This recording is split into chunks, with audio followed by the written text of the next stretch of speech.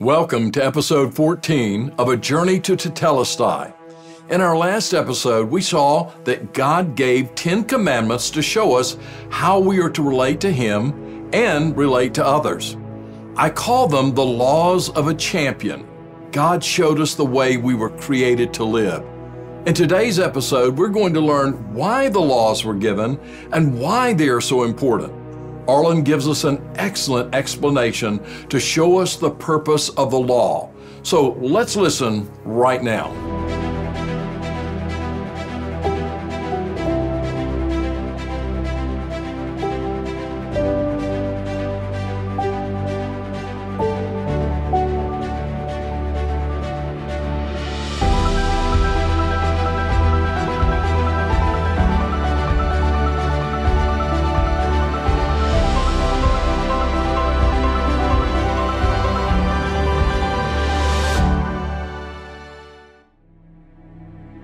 After examining the Ten Commandments, do you think the Israelites were capable of perfectly obeying them? Though the Israelites had been confident that they could keep all of God's laws, they broke them over and over again. What about you? Have you completely obeyed God's commandments? The truth is, every single person who honestly evaluates their life will have to admit they have broken them. And like the Israelites, many times we have done it over and over again.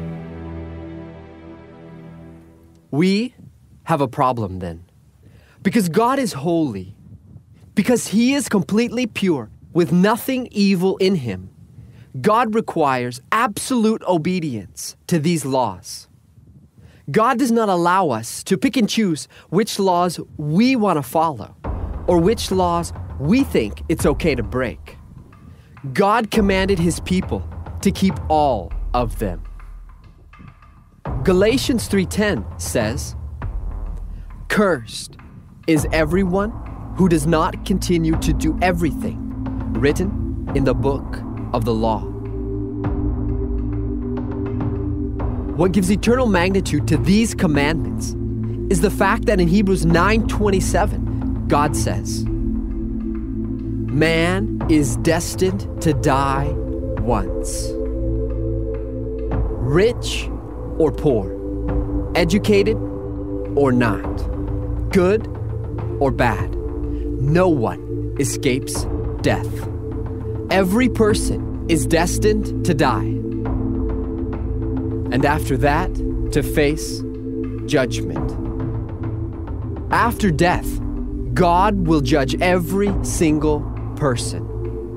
And according to Revelation 20, verse 12, the actions of every single person are recorded by God in His books. Can you imagine? Every single careless word that you have spoken, everything that your hands have done, every place that your feet have gone all the hidden secrets that you thought no one knew about, God recorded them. And He will judge every single one of these actions. Maybe you're thinking, Arlen, no one would be able to survive a judgment like that.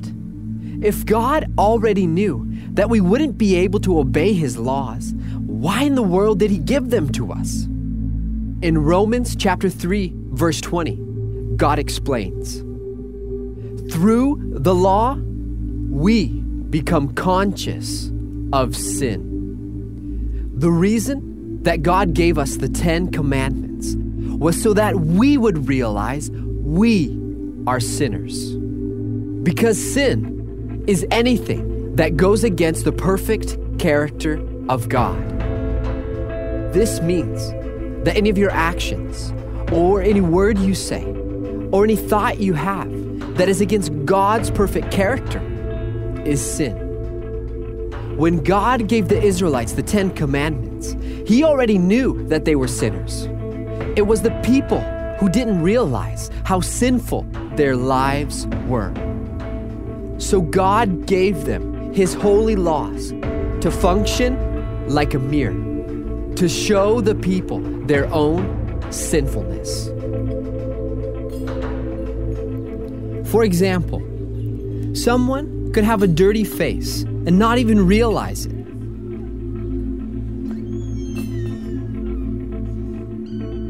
But if he looked into a mirror, he would see himself and realize just how dirty his face really was.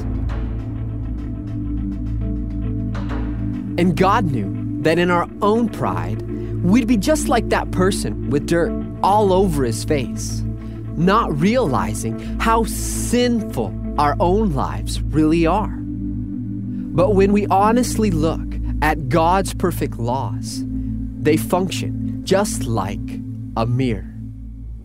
The law shows us how far our own lives are from the perfect character of God. God's character is holy, which means he is pure and there is nothing evil in him.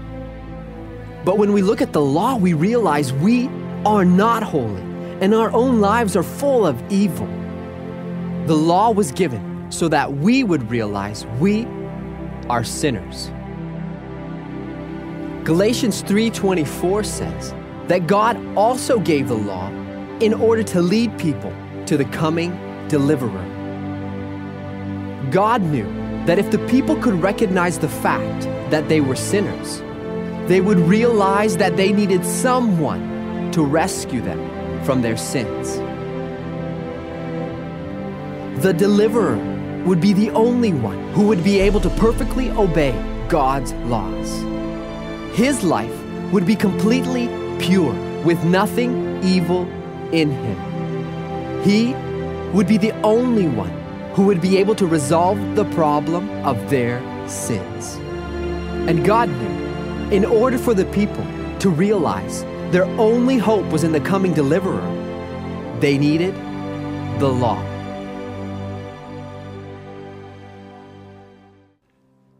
Thank you so much, Arlen, for sharing this great truth. I could really identify with what Arlen said about having dirt on your face and not seeing it until you look into a mirror. Then you see the stain of the food. I have to be honest with you. There have been a number of times when I've eaten in a restaurant and my wife has quietly given me a look and scratched her face. I knew I had something on my face. She cared so much about me that she didn't want me to be embarrassed. I'm so grateful for her kindness. One of the life attitudes that keep us from living to our full potential is that we think we are champions. My attitude for a long time was, I can do it. I'm a good person. I'm a true champion. Many people think that's a great attitude to have. But when we're honest, it's only a delusion. I can't live up to the standard that God has set because He is absolute purity, what the Bible calls holiness. It is out of God's love and kindness that He shows us that we cannot run like champions. We can't live to His standards. He gives us a mirror, His commandments to expose our faults, our sins, our failures. He wants us to live like champions, but it's impossible. When we become completely honest, we'll confess, Oh God, I failed you. I've lived far below the standard you set for me. Failure to live up to God's standard is the truth about my life, and it's the truth about yours. It's true about all humanity. It's when I came to grips with this great truth that I began to learn to live like a champion. Before I came to know God in a very personal way, I thought that I was doing pretty good in life. I was involved socially and politically. I was president of the East Baton Rouge Parish Youth Council, president of the Baton Rouge Junior Rotarians, president of our drama club at school. I had two scholarships to study at Louisiana State University. I thought, I'm a good person. Look at all the good things I'm doing. But there was darkness deep in my heart. No one else knew about it, yet God did. He knows everything about us. He knows our thoughts, He knows our feelings, he knows our secrets. On the outside, I looked like a champion, but on the inside, I knew I wasn't. I felt trapped. I wanted to keep the appearance of being a champion, but it only produced more darkness. During my first year at the university, I listened to a man speak about the one true champion of life. When I saw the one who is the champion of all champions, the one who has lived up to God's standard, the only one, my heart melted. I could no longer put on a false face. I saw myself in the mirror of God's Word, and I desperately needed cleansing. The commandments of God exposed me. They did so much more than that. They showed me my need of a Savior. They pointed me to the one true champion, the one who cried Tetelestai on a cruel Roman cross more than 2,000 years ago. I embraced him by faith. I said, I can't. And he said, I can. I said, I need you. He said, I love you. I said, I've lost my way. And he said, I am the way. I said, All these years, I've deceived myself. He said, For eternity, I am the truth. I said, I want to die. He said, I will give you life. My life has never been the same since I met the Savior. I found life. I found the true champion of life, the one who is absolute holiness. And he not only loves me, but he also loves you.